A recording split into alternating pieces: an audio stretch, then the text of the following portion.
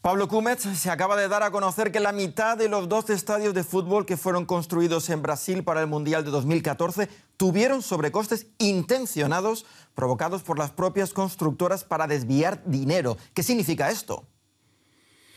Bueno, significa que el sistema político brasileño está corrompido hasta la médula.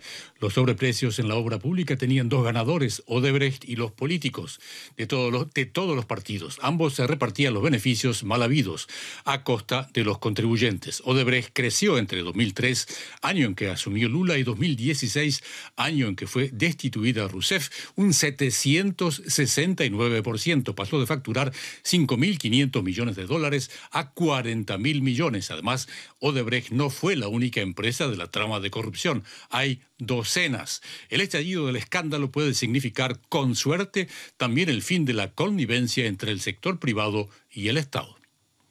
Debido a la gigantesca trama de corrupción, los ingresos de Odebrecht han caído dramáticamente. ¿En qué situación se encuentra y cuáles son las expectativas para la mayor constructora de Brasil?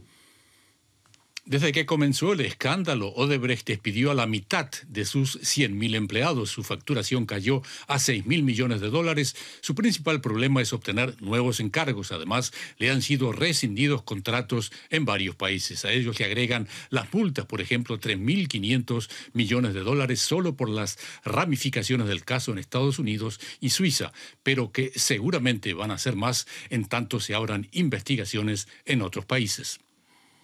Pablo, el mundo económico y político de toda Latinoamérica tiembla ante las revelaciones de los escándalos de Odebrecht. El presidente del gigante de la construcción, Marcelo Odebrecht, y 77 ex, exdirectivos mm. de la empresa pactaron con la justicia dar nombres, fechas y cuantías a cambio de tener una rebaja en sus condenas. En estas circunstancias, ¿hasta qué punto son fiables sus confesiones? Bueno, vamos a ver, luego de los interrogatorios, el Tribunal Supremo aceptó en más de 70 casos el pedido de la Fiscalía de abrir investigaciones contra políticos. ¿Hasta qué punto son fiables las confesiones de los directivos? No puede determinarse hoy con exactitud, pero son plausibles en tanto se involucran a sí mismos en la corrupción.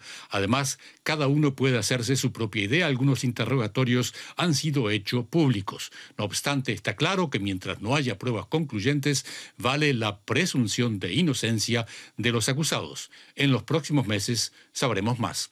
Gracias, Pablo Cúmez, desde Bonn.